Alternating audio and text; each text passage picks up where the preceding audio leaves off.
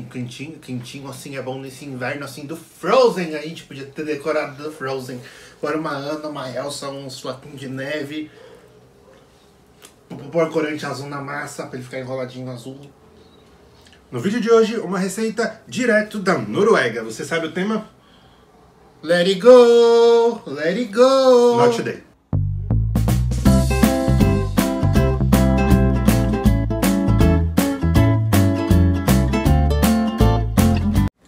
Oi, eu sou o Douglas Italdi. E eu sou Felipe. O cinnamon é um doce originário e muito consumido nos países nórdicos como Suécia, Noruega, Finlândia e Dinamarca. Em cada um desses locais ele recebe um nome próprio. O doce é uma massa enrolada com recheio de manteiga, canela e açúcar. Ele também pode ter a inclusão de cardamomo, passas ou algum outro ingrediente. Ele pode ser encontrado na versão assada ou frita e acredita-se que tenha surgido na Suécia. A canela foi introduzida na Europa por comerciantes romanos de especiarias e com o tempo ela passou a ser usada também em doces como o cinnamon roll. Nos Estados Unidos tem uma empresa famosa conhecida por vender o doce. Ela recebe o nome de Cinnabon e é conhecida por apresentar uma versão bem macia do doce. Além disso, ele recebe uma cobertura de cream cheese. Ela chegou a ter uma unidade aqui no Brasil alguns anos atrás. Desde 1999, no dia 4 de outubro, é comemorado nos países nórdicos o Cinnamon Roll Day. Essa data foi criada para fins de marketing por um grupo formado por comerciantes, fabricantes de manteiga, açúcar e farinha, dentre outros ingredientes usados no doce. A data foi escolhida e celebrada para incentivar o consumo desses ingredientes. No vídeo de hoje, a gente faz um cinnamon roll bem quentinho e bem fofinho. A gente começa colocando em uma travessa uma xícara de leite morno, meia xícara de açúcar e 10 gramas de fermento biológico seco. Mexe bem e deixa ele descansando por uns 15 minutos para que o fermento comece a agir.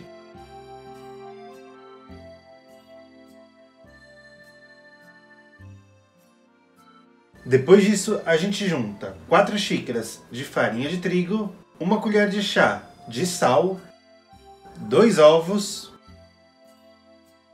e duas colheres de sopa de manteiga derretida. Mistura todos os ingredientes até que eles estejam completamente incorporados. Depois disso, a gente transfere a nossa massa para uma bancada e sova por 10 minutos até que ela fique lisa.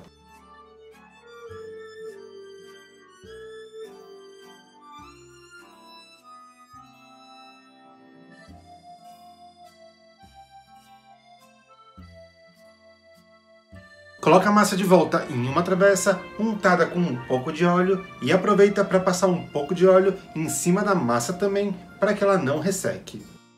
Cobre ela com um pano de prato e deixa ela em um lugar quente para que ela cresça.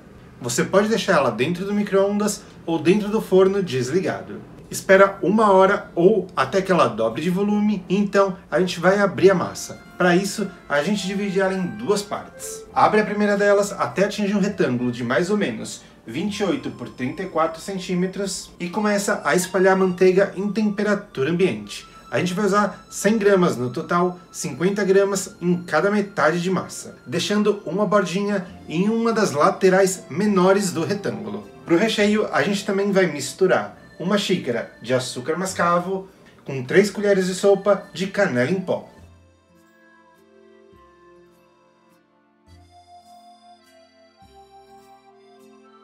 Coloca metade dessa mistura em cima de toda a massa. Assim que todo o açúcar estiver uniforme, a gente começa a enrolar a massa do lado contrário daquele que você deixou a borda sem manteiga e sem açúcar. O importante é enrolar ela bem apertada para que ela não abra na hora de assar.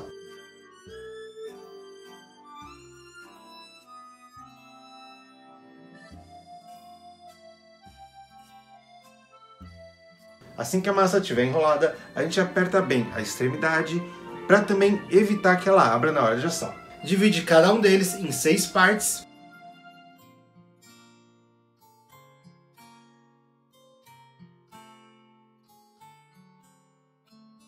e transfere para uma assadeira que a gente untou com um pouco de manteiga.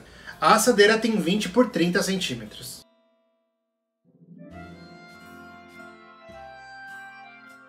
Deixa ele descansar por mais uma hora E aí, leva a assadeira para o forno pré-aquecido a 180 graus de 35 a 40 minutos ou até que você veja que ele já está dourado.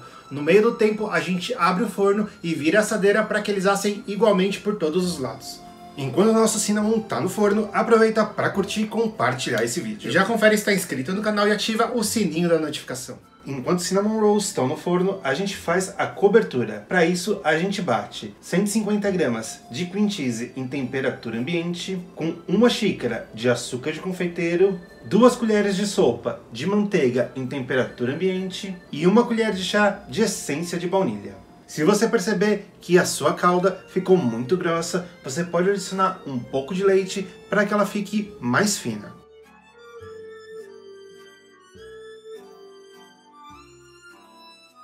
Assim que tirar a assadeira do forno, aproveita que ele ainda está quente e espalhe a cobertura.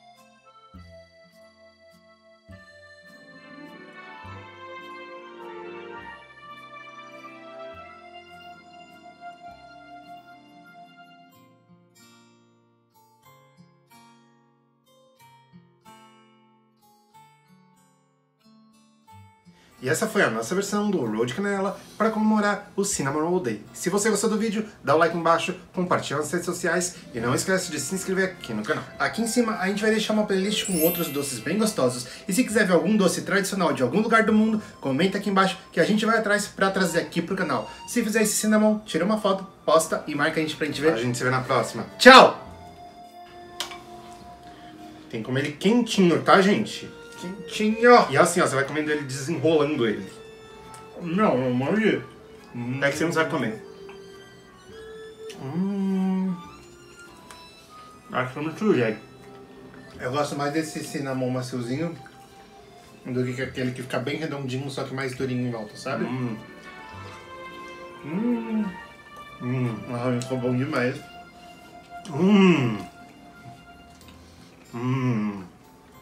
A cobertura vai derretendinho, vai derretendinho assim, ó. Aí o, o cinnamon é docinho por causa do açúcar, a cobertura é azedinha por causa do cream cheese. Hum. Por isso que os americanos inventaram de colocar isso daqui.